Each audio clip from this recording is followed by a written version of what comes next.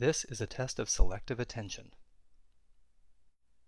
Count how many times the players wearing white pass the basketball.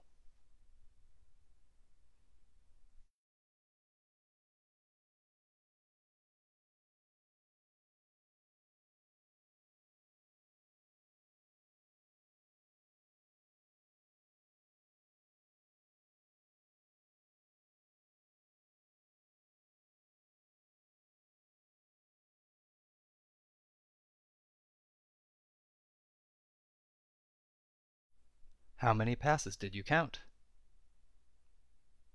The correct answer is 15 passes. But did you see the gorilla?